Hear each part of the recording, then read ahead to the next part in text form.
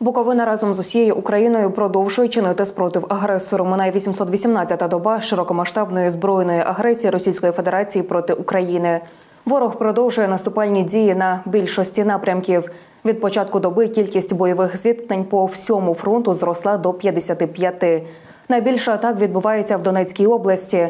На харківському напрямку окупанти двічі шахедами атакували райони населеного пункту Липці. Ситуація в районах бойових дій залишається складною, але цілком контрольованою силами оборони України.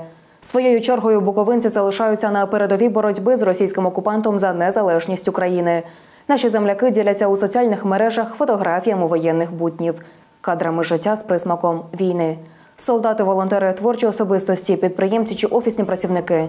Усі разом долаємо ворога та наближаємо нашу спільну перемогу.